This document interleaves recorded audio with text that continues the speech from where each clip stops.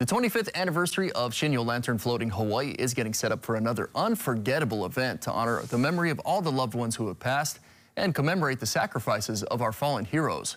Chris Latronic joins us now live at Ala Moana Beach Park with more. Aloha good morning, Chris.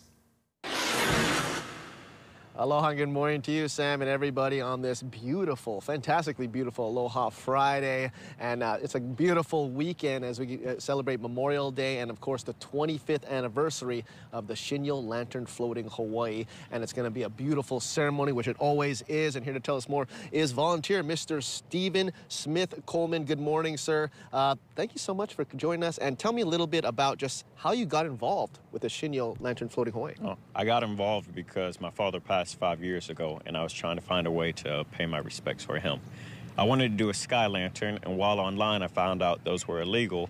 But at the same time, I saw the website lanternfloatinghawaii.com, clicked on it. Within five minutes of reading it, I said, you know what? That's what I want to do to pay my respects to my father. Yes, well, that's amazing, and uh, a big respect uh, to your late father. And tell me, how did that whole ceremony go?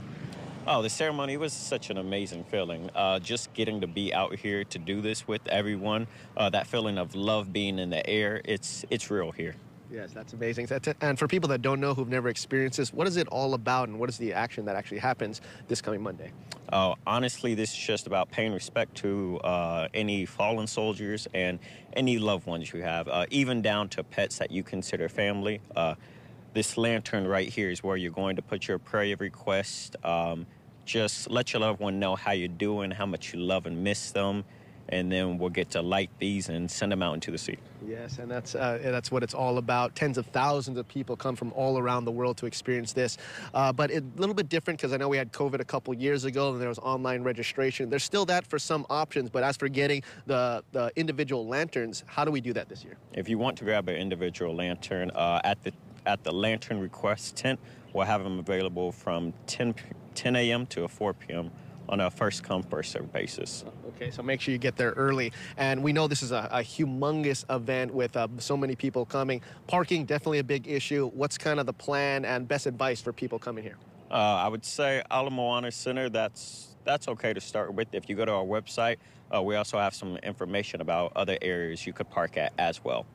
That's a very good tips there. As for the lantern, I know there's a limited amount. If people can't be here or they don't get uh, one of the many singular lanterns, what are the, some of the options they can do to get their remembrances out? Uh, they can still submit a prayer request online, and from there we have a collective remembrance lantern that we will take that request, put it on, and float it out for them because they're not here with us. Okay, that's excellent. And also, uh, so much happening uh, with the festivities that are happening here.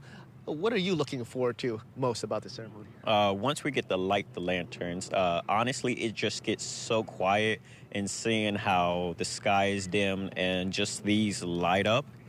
It's a great feeling that I just want to be a part of over and over again. Yes, and being a part of it, there's still volunteer opportunities. How can people come and volunteer to this event? Uh, if you want to volunteer, there's information on lanternfloatinghawaii.com uh, because we're definitely looking for volunteers that will help us collect the lanterns around 8 p.m.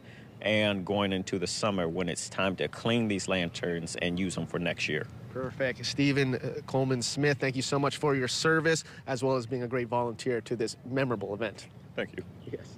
And you can come see Stephen, be a part of this as well as just uh, be involved in it. It's all about just being here and just feeling the vibe, which you can't experience anywhere else. We'll have more information on how you can be a part of the volunteer as well as just enjoying the ceremony on KHON2.com. This is Chris Latronic working for Hawaii Live from Ala Moana Beach Park. Sending things back to you. Yes, Chris, it is such a unique experience. Big mahalo to Stephen and all the volunteers as well as you for that live report, Chris. Now, folks, if you can't make it on down to the beach for the ceremony, you can tune in to KHON2. We will be airing it live Monday. That goes from 6.30 p.m. to 7.30 p.m.